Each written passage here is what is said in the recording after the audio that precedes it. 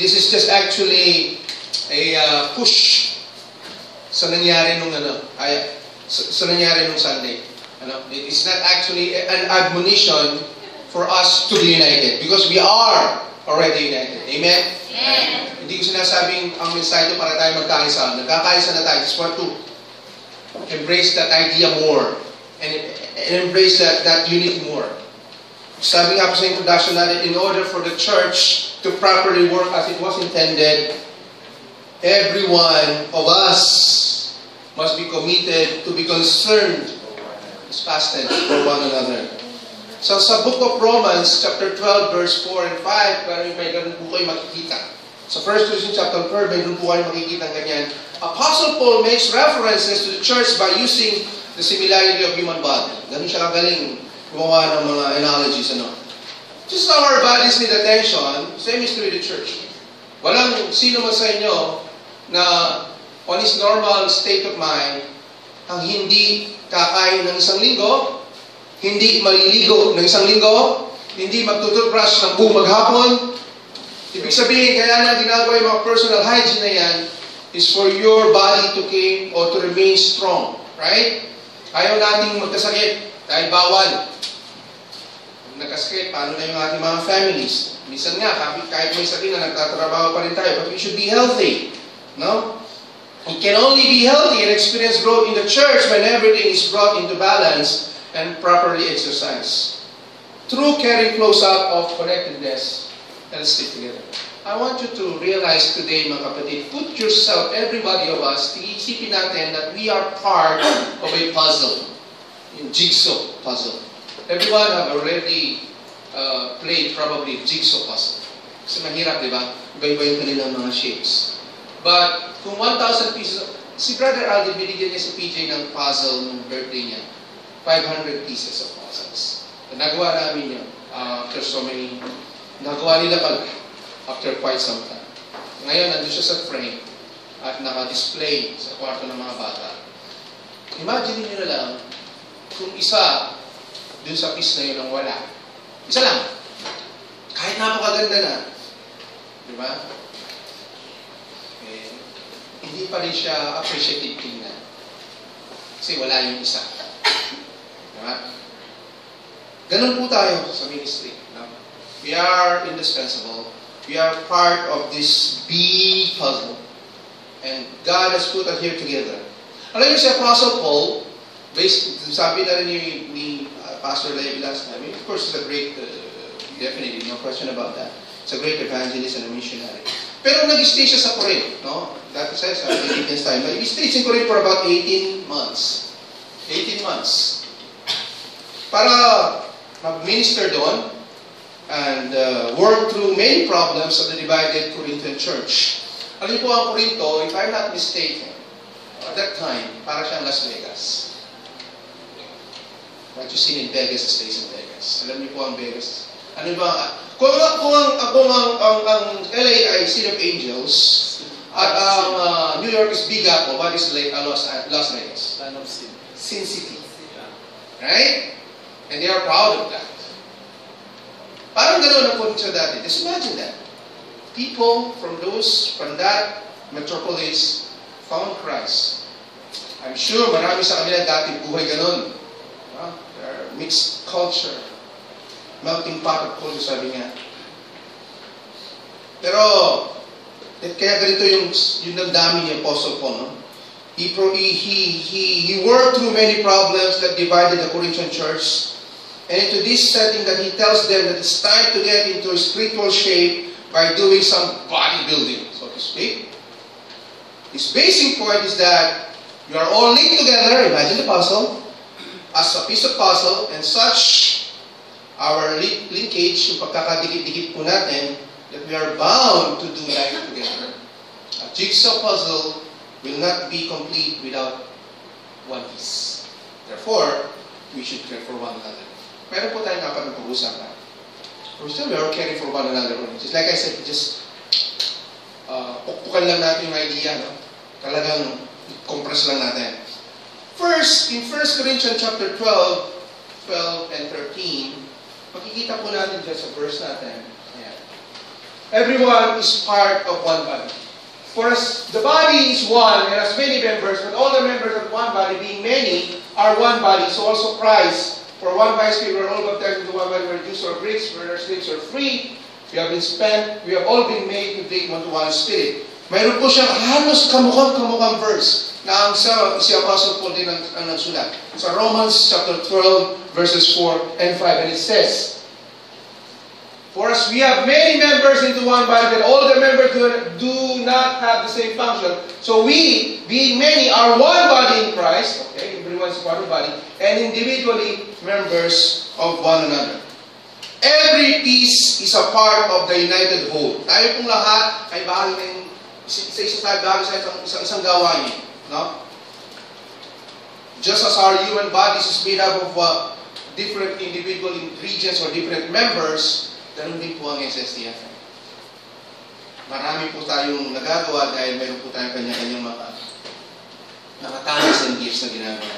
Just imagine these five fingers. Nakakita na kayo ng boxing ganyan ng laban. Boxing.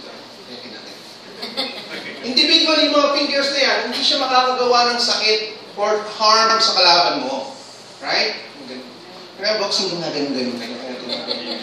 Ano ginagawa sa boxing? Yung limang to, ano ginagawa? Nakaganito to. Diba?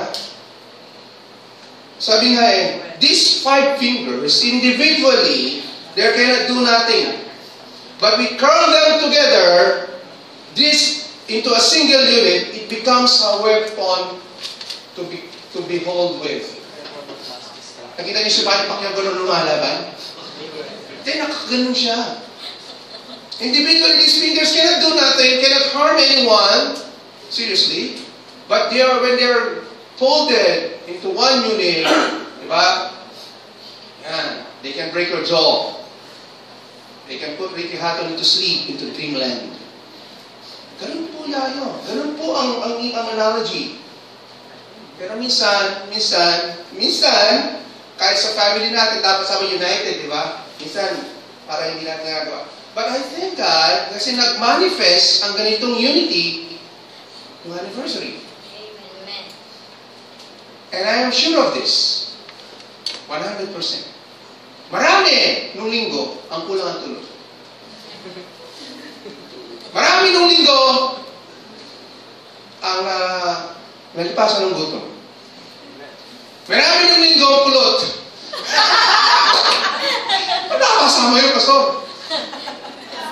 Marami nung linggo, tinawisan. Marami nung linggo, nagdarasot, nasa kusina, naghuhugas ng plato. Sabay nakakita ng mga dishwashers na formal ng suot. Diba? Tapos may necktie, tapos may pang apron. That, that goes to show that this ministry, walang kieme. Di ba? Pagdating sa ganung gawain. That's a great illustration of how church works together. Individually, we are not, not we are we cannot. Imagine, hindi ko natin siya lahat. Siya yung nagluto. Siya yung naghanda. Siya yung nag-arrange ng mesa. Siya yung nag naghugas ng plato. Abay, next Sunday na, hindi pa tapos. 180 plus, including kids, yung pinakain natin. But thank God, we were there. Individually, sabi we were nothing, but we were curved like this, as a single unit. We are a weapon. Amazing to behold. Right? It was only when our many pieces come together, we can demonstrate the picture of God's Iba-iba mga ginawa. Mamaya, inugaling natin yung mga ginawa. I, I, I was really amazed. You know what? I received some text messages from the pastors that week and they were congratulating us for our job. Amen. And I say, to God be the glory. Like naman sinasabi, to God be the glory. And it will not be possible without the presence of the Holy Spirit in each and every member of SSCF. Kung meron man akong hindi na text sa inyo nung lunes or martes, pagkatapos ng message na ito, sabihin niyo. I hope meron. Pero I hope din wala. It took me almost one and a half hours to send those messages individually. I really love to appreciate those things. and we did a good job. Brenda.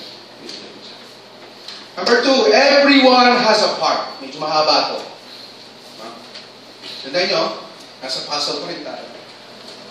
If everyone is a part of the body, then everyone has a part. Or in fact, the body is not one member but many.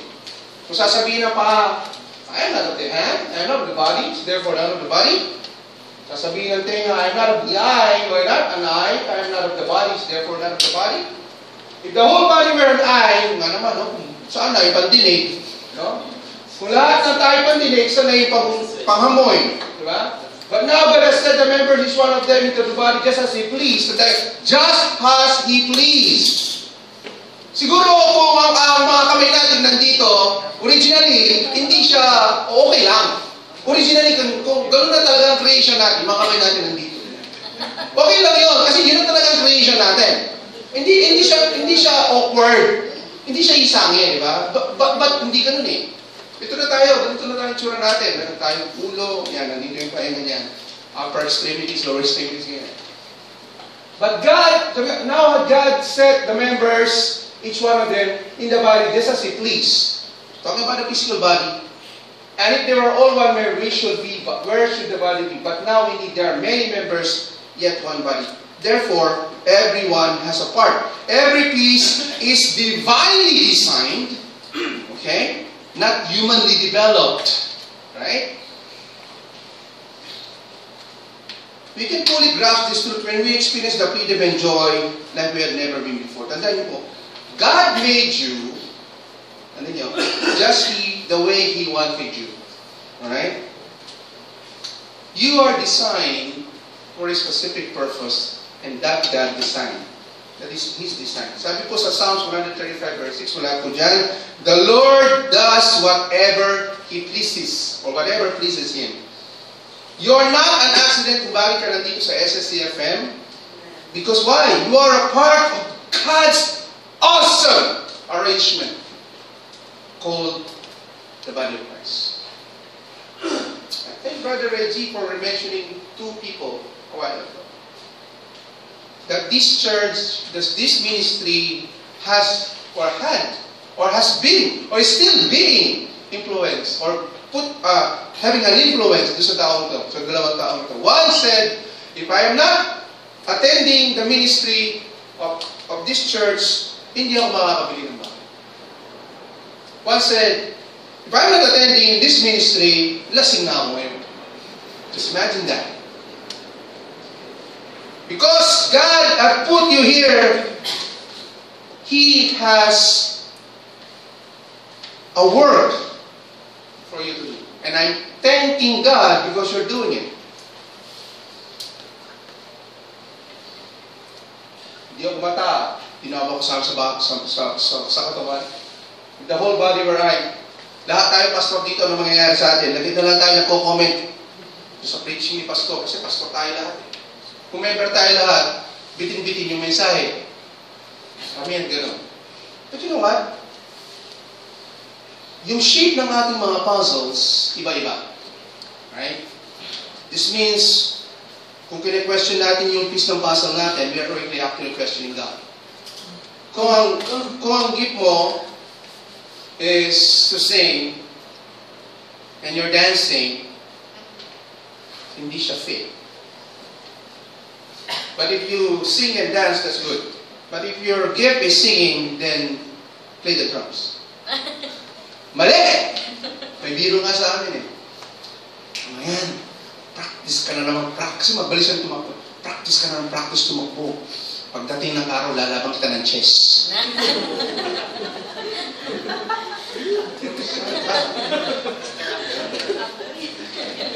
Tayo mga kapatid, may mga gagaling kumanta, nandito sila sa music. May magaling tumunto, nandito sila sa music. May magaling magluto, nandito sila sa music at sa kusina. Ang kagandahan, no? Pagkatapos kumanta, nandito sila sa kusina. Pagkatapos mag-serve, nandito sila sa water booth. Nakikita ko yung mga photo ko, puro SSCFM lang. Ano nangyari? Nakikita yung pagkaka-united hanggang sa picture taking. You know what? Bawal mag-solo. When you refuse as a puzzle, again, remember yung ating word kanina, puzzle, when you refuse to interlock with, with, with the peace that you have with others, you actually disobey God. Amen? Kung anong peace meron ka, at ayaw mong makidikit doon sa puzzle, at hindi yan mabubuo. Spiritually speaking, if you don't want to interlock yourself to other believers as part of the ministry, then you are disobeying God. And thank God, fit na fit tayo. We are not disobeying God. Amen? Amen. Praise the Lord for that. When we make a commitment to connect with Christ and His people, I will, I just remember this. When we make commitment to connect with Christ and His church, then He is pleased beyond measure. Just imagine, kung hindi po united ang mga church, ang, ang, ang Acts, ang church sa Acts sa Jerusalem, in spreading the gospel, in Jerusalem, in Judea, in Samaria, and to the uttermost part of the world, kasama na tayo. Do you think? Do you think the gospel will be will be here today kung hindi sila committed and dedicated sa kanilang fellowship sa isa't isa sa pananalangin unang-una? No? Binenta nila yung ibang mga area-area nila para sila makapag-evangelize sa buong Jerusalem, sa Israel at the time. And at that time, sila-sila lang muna, Jews, then napunta na ng Gentiles, sasama na tayo. And that is part of being part of the puzzle. Ginawa nila yung part nila. Yung hindi makapag-preach, hindi makapag, makap, hindi sila mga apostles, ang ginawa nila, they serve widows. Right? Mga deacons, ganun ang ginawa nila, they serve widows, they serve tables. Yung iba naman, I'm sure, hindi naman na-itemize sa book of Acts, but they did what we're doing, what we were doing sa context nila. So thank God, everyone has a part.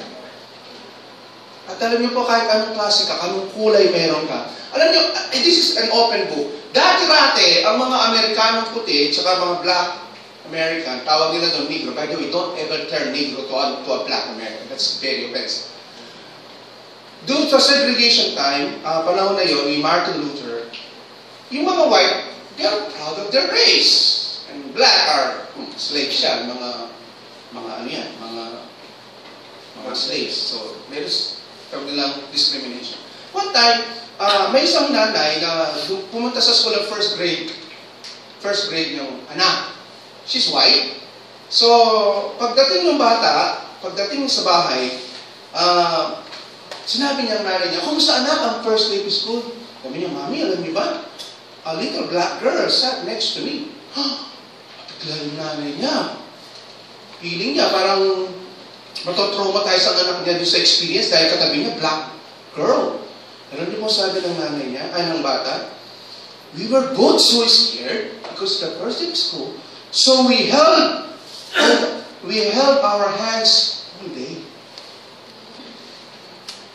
It is wonderful that young children have the ability to see past their differences. I'm sure yung nanay ayaw niya patabihin ng anak niya sa black girl. Sabi ni Martin Luther sa best uh, speech ko, I dream that my four little white, four little children will one day be, you know, um, holding hands with little black girls and black boys. Ano nangyari na po ngayon? Tayo kahit Ilongga ka, Bukot, Cebuano ka, Kapampangan ka, hindi pa nga tayo complex eh. Diba? Pilipino lang tayo, pero alam naman natin sa Pilipino, mahilig tayo sa regionalization. Kahit, na, kahit nasa natin dalhin. Punta ka sa Canada, sa Hong Kong, kahit dito sa Korea, may Bismin group, may Batanggenyo group, may Mekedi group, may Manileño group, ewan ko kung mayroon Manileño group. Pero maraming, maraming ganun. It doesn't, yeah, it, it united, it unites you. Yung, yung, yung, yung mga ethnic groups, yeah, you're united. What about the other ethnic groups?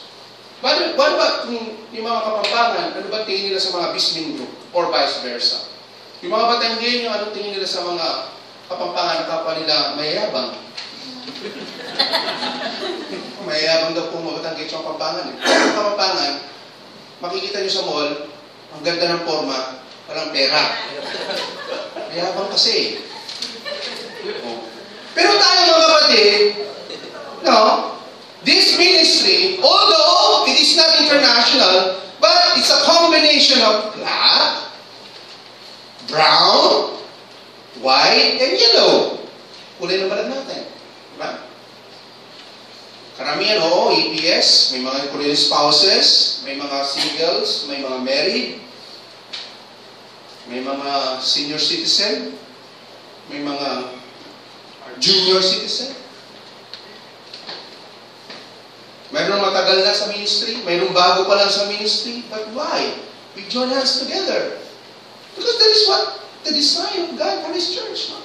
That we sinners, actually forgiven sinners, join hands and celebrate the design diversity with each and everyone. Mo sabihin, mas nakakatanda ka, utos ka na ng utos, o mas nakababata ka, ito lang lagi nagtatrabaho. O kasi kung nakabata dito. Nung, nung, nung kung ako'y pumasok sa NIA, I was the youngest employee sa department namin. I was fresh graduate, so, I was 21 at the time. So pagdating na ng merienda, alas 3 ng hapon, alam na kung sino utusan. Huwag na, si Jerry na yun. Si JCY na yun. Ay, na yung motor ko, sa tayo, banana Q, banana Q, fishball, pizza. Ako na po lagi. Kaya naging term sa akin, abuse. Kung si abuse. Pero kung pumalis, about nine years later, meron nang pumalis sa akin. Hindi ko naman in-abuse. Bumanti lang ako. no. But it happens, you know. Happens. But sa, sa gawain ng Panginoon, wala akong matanda, walang bata, walang babae, walang lalaki. Kung ano yung gift mo, kung anong piece of puzzle ka, stick it. Stick it. Stick with, with each other. Pangatlo, everyone is indispensable. Ibig sabihin, lahat mahalaga. Verse 21 and 24. Number 3. First Corinthians chapter 12, verse 12, 21 to 24. And the eye cannot say to the hand, I have not need of you. Anong nanong magata, hindi kailangan. Nor again the head of the feet, hindi kita kailangan. No, no, no, no much, no, much, no much rather, those members of the body which seem to be weaker are necessary. And those members of the body which we think less honorable, uh, uh, those we bestow greater honor in our presentable, uh, presentable parts have greater modesty. But our presentable parts have no need. But God composed the body, having given greater honor to the part which was lacks, lacks of it. Everyone is indispensable. Ibig sabihin, lahat mahalaga. Hindi pwedeng, ay, ay wala yan, okay na.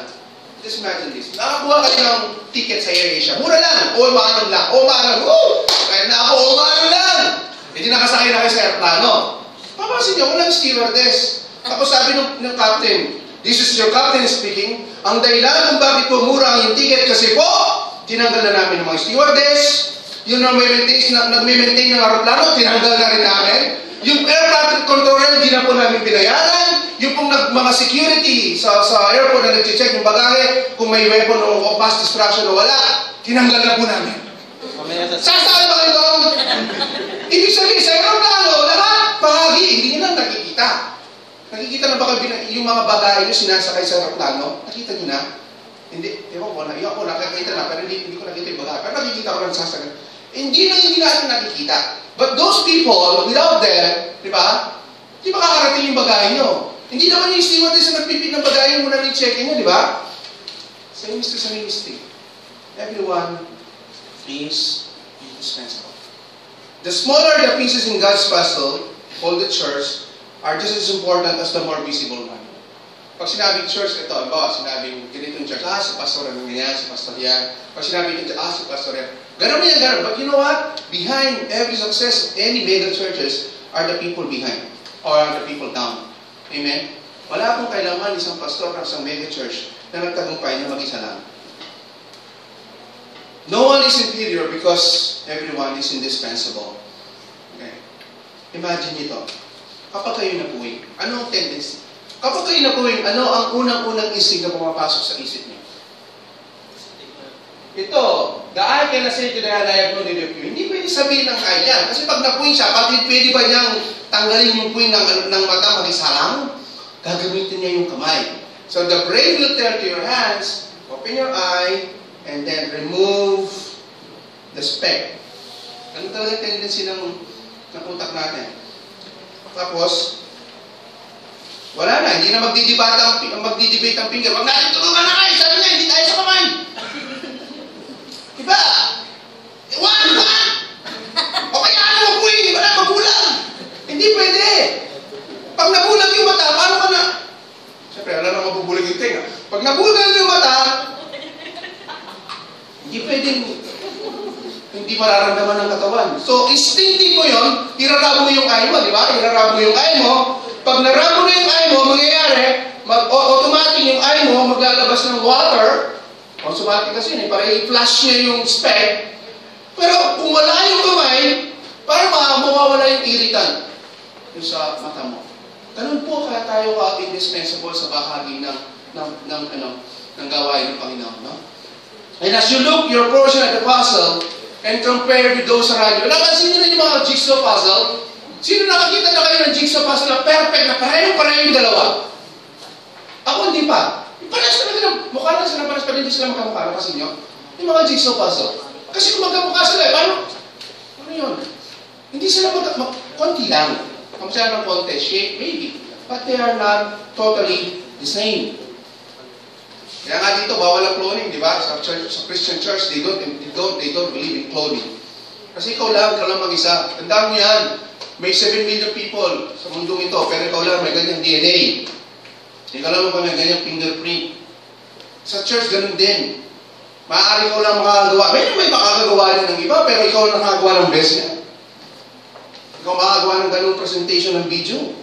Ikaw lang makakagawa ng ganyong uh, pag-upload sa mga picture, madali naman mag-upload. Pero minsan ka, wala ka man tayo, di ba?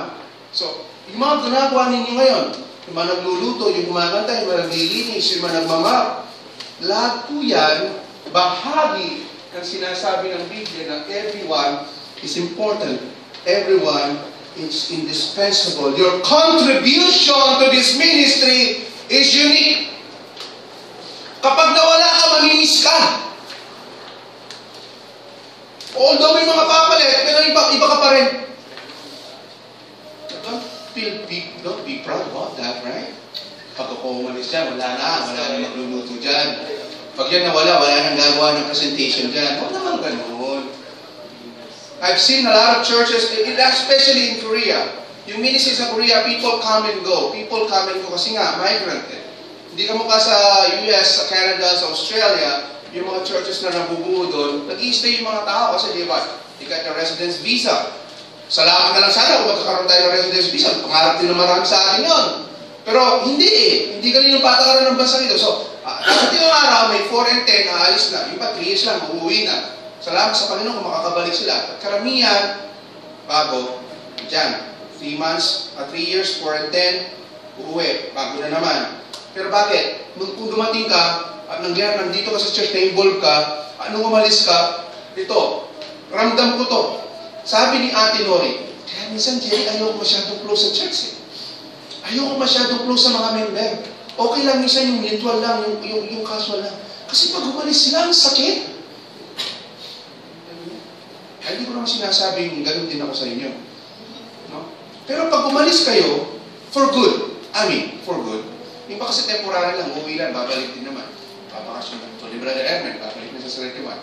Yung magkasawang younger Felizar, babalik na sa next month. Pero kahit pa paano namimiss natin sila. Wala nang, pag dumating, yeah, yeah, wala na, di ba? Yeah, wala na. Wala nang re-report dito matangkad na galing ng Davao. Kaya ng Surigao, di ba? Oh, wala na dyan na, uh, ito yung, yung, yung buong Navarro. Namimiss din natin sila. Kayo din pag namiss kayo, pag-uusapan din namin kayo, huwag kayong magalala. Pero you know, you have a part. Have a peace. Huwag niyo pong hahayaan na yung part niyo mapabayaan. And I thank God for that. Kasi ginagawa niyo yung part niyo. Kaya minsan ganito yun eh. Uy, ano nangyari sa kanin? Alam na ko sino, ano? Pagkakalan ng ulam, group 1. Sister, sino Pati sobrang labo ng manok, group 3 pa. Sabi-sabihin, meron kayong part. So, ginagawa niyo naman. Kasi nakakatuwa, but at least, Pag nagluto group 3, at masarap, ganun din. praise din sa group leader o sa grupo, di ba? Ganun din. So, you are indispensable. We are indispensable. Everyone is indispensable. Oh, wala, wala. Ano lang ako dun eh. Tagahugas lang ng plato. Ikaw nga ako si na tagahugas ng plato. Pag naghugas ng plato, nasa na si Bantalan? Automatic yun. Gary, ginagawa mo yun. Bakit? Nag-enjoy ka sa ginagawa mo, hindi ka napapagod. Kung gusto niyo matulog na Sabado ng umaga, ang Sabado ng gabi sa amin, makakatayin kayo ng, ng breakfast ala jelly. Bakit? Ako po ang pag umaga ng linggo, ako po ang nagpiprepare ng breakfast. Ako po naghuhugas ng plato. Ewan ko, ginawa na ng yutin sa amin sa bahay. eh. Normally ganun. Pero pag may bisita, si Sister Cindy. Kasi okay lang yun. Is- ay, Ako nga sabi, I enjoy washing dishes. Kaya pag sinabi ko kay CJ yun, kung na maghugas dahil kasi enjoy ka naman. Eh. kasi hindi siya nag-enjoy. Ewan ko, basta I enjoy the bubbles. Ano? Kaya pag hindi sila masyadong malinis, nagagalit ako eh. Inagagagad ko eh. Pag, pag ginanong ko yung plato, kailangan walang masahe yung, pala, yung kamay ko. Kailangan smooth. Eh minsan, Jay, ito, kalinis na to. Alam niyo yung tinador? Na kumain kami, alam niyo ginawa natin malakit noon? Yung, yun, yung ginawa sa Di ba dumidikit talaga yun? Kalinis ba to? Hindi pa. Wala doon sa... Kasi trabaho niya. Gawin niya sa trabaho natin. Minsan nasisisi tayo kasi trabaho natin. Know, it's part. Kung hindi nasasabihan naman, para lang, para lang ma-improve yung ginagawa mo, di ba? Kaya pag sinabihan ka sa ginagawa mo kay kapatid, para lang ma-improve. Hindi para, hindi sinasabing, mali yung ginawa mo. We just have to accept that. Minsan, di naman pwede lahat tayo, lahat, ay, salamat, Brad! Ang galing-galing naman ng pagluluto mo. Ang lasa. Diba? We have to be open and honest about it. No? Kung sasabihin man tayo ng kapatid, Brad, sa susunod, bawasan mo naman ng, ng, ano, ng, ng suka, yung maasim eh. At saka, tsaka, sa susunod, lagyan mo ng luya. Nakakita ng vaccine, walang luya. Ayan. Pati malu. Ibig sabihin, minsan sasabihan tayo, but please, brethren, let us be open about it. Ako po, sabi ko nga, I am, I am more than willing, after my preaching, may magsabi sa Pastor, dapat hindi mo sinabi. Kung may na-open mo, Pastor, dapat hindi mo sinabi. Aside ko ng tip I would that. Para sa susunod, you're helping me. So kung sinasabihin man namin na ka namin o nung, nung elder, nung leader, nung deacon ng ganon, open up your mind and accept it. Because what? You're indispensable eh. Ayaw ka nilang mawala. Kasi ginagawa mo yung trabaho mo. Minsan may mga konting ano lang, but it's okay, it's para. Panghuli, everyone is interconnected. Every piece of the puzzle is interconnected but not independent. I said. Sa puzzle pa rin tayo mga kapatid. Your puzzle piece is designed to lock together with those around you. Diba? Alam niyo po yung idea ng chapter 2 verse 24 ng Genesis na sinabi ng Panginoong Diyos uh, that the man will be united with his wife and they will become one flesh. Hindi po yung sinasabi sa actually sa verse 24 kanina eh. Yung the principle of interconnectedness. Same meaning, same word. So, ganun din po tayo. We are actually one in Christ. Kaya ginagawa natin ng mga bagay na yan. So, verse 25 sabi niya, there should be no division in the body. There's, there should be no schism or division in the body, but that member should have the same care for one another. Also, makikita na sa verse 25, we are committed for each other. Right? Sabi po dyan, that the members should have the same care for one another.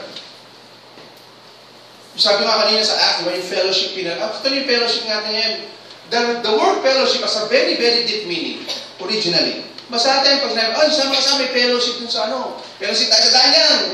Uh, idea of fellowship is what? It's sometimes fun. Patla, punta sa park, it's okay. But kung ang talagang salitang fellowship makikita sa Acts kung saan mga tao noon, yung mga early believers in Israel Church, in Jerusalem Church, binenta nila ka ng mga lupa. ari-arian, bahay. Parang ginawa nila, sama-sama sila doon.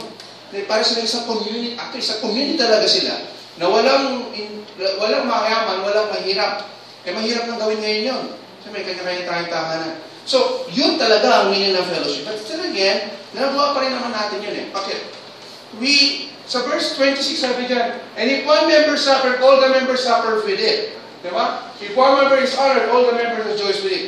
Halimbawa dito, may isa sa atin na ma, uh, ang mahirap na EPS of the year, kung mayroon mang ganung award. Bawa, mahirap si sister na ganito na EPS of the, o kaya, ano, uh, migrant worker of the year. Halimbawa, kung mayroon mang ganun award. At galing sa dito sa church, hindi ka ba matutuwa? Di ba? Ay, ay, kapatid namin yan, sister namin yan. Kapatid na na, kung may mga celebrity kayong member sa church, di ba? Kaya nga ang victory, sikat na sikat eh. Mayroon silang maraming mga artista doon. Because if one honor, member is honored, all the members will do with that. Now, the opposite is true. If one member suffers, kaya nga po nung kami inuubo ni Sister Ana, inuubo, random nyo, Storbo kayo eh. Ibig sabihin, pag gano'n, di ba? Pag na-hospital, huwag naman sana, nandun yung care. Nandun yung, yung, yung bawat isa. Sabi nga, if, if, one, if one part suffer, every part suffers. The old action is true. Sakit ng kalingkingan, ramdam ng buong katawan. Imagine, alam niyo yung mga bangko sa atin, di ba, apat yung paa. Apat naman talagang paa ng bangko. Sabihin, bawa, yung, yung pinakapalagi, yung smallest toe mo, yung baby toe mo, ma, pa, maipit ng, ng, ng bangko, na mabigat. Ano reaction mo? Kagan pa, di ba? Automatic yun. Yung kamay mo, hawakan na yung masakit na part. Maliit lang yun. Hindi, minsan, takalong ka pa sa sakit. Instinct. Minsan, upo ka, tapos ibeben mo yung... Tapos minamasahin mo yung nasaktan. All the members necessary on that body will grow and scream kasi may sa may Kalik nun, kalik nun. This is what happened when Paul says in the church, if one member suffer, all members suffer with it. When someone is hurting, we rally together to help that guy, or that girl, or that sister, or that brother. And I'm thankful na walang nagkakasakit. Ayoko naman magkaroon ng sakit para lang ma mapatunayan natin to.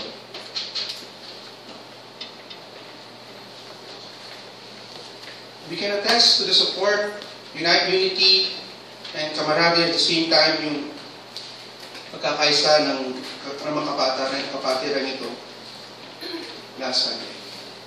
Uh, so really, really amazed kung saan galing yung mga lakas ninyo. Iba sa inyo, dalawa, tatlo, apat na oras lang ang tulog. May pumasok ka sa kwartong hindi alam na sobrang pagod na. Diba?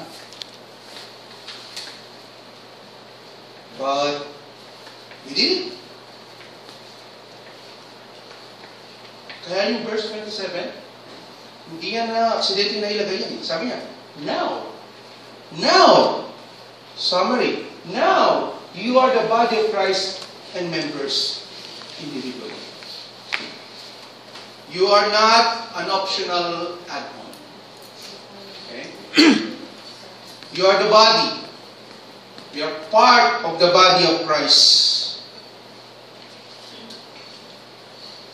Sabihin, kahit maliit na bagay o maliit na bagay na ginagawa mo, it is appreciated. Sa, boy, sa pinasa po natin verse, According to Apostle Paul says, each of you is a part of it. We do life together because we belong to each other. We do life together because we belong to each other. Actually, the word part means portion or piece. Your part or your piece, the puzzle of SSCS. Yung puzzle natin, nabubuo na. Tuloy, meron pang parating na magbubuo. At least nakikita natin yung picture. Malinaw. Kasi buo. Hindi siya bungi. Diba? Unity in this ministry was so evident last anniversary and everyone did his part. And I behold and we behold the results. Di pa nga ako makapagbubon eh. It was good. No, no, no. It was very, very good. It was actually great. God has placed, placed you and me in a strategic piece in this kingdom work because He has a plan. You are an important part of the success of this ministry and the effectiveness of this ministry. Everyone is depending on you to be here and to carry out his or her function. I would like to conclude this message with a story. May isang bundok, Mountain Village sa Europe. Maraming taon na, or ilang dekada o ilang centuries na nakakaraan. May isang mayaman na tao na gusto niyang mag-iwan ng legacy sa kanyang ah, tao, sa mga tao people niya, sa maliit na bayan na yon. So, ginawa niya, dahil mayaman siya, nag-build po siya, nagtayo siya ng isang malaking church building. Sabi natin, uh, cathedral, so to speak. So, when it was finished, oh, that was the reaction of the people. They were marveled on the on the beauty of the building, the church building, its completeness. They thought everything was okay, everything is good, maayos. But someone asked, where are the lamps? Tandaan nyo, noong panahon na yun, wala pang kuryente. So where are the lamps? How will they be bright enough during worship services? So sabi nung mayamang nobleman, sabi niya, pinakita niyo yung mga brackets sa mga wall. Alam niyo yung brackets? Yung mga, yung mga lagay ng mga lamps. Pinakita niya. At binigyan niya ang bawat pamilya ng mga lamp na dadalhin nila each time they go to worship. Each time, sabi niya, you are here, the area where you are seated, it will be well lit. Each time you're not here, the area will be black. This is to remind you, my dear brothers and sisters, that whenever you fail to come to church, some part of this house is dark. Because you are actually part of the light.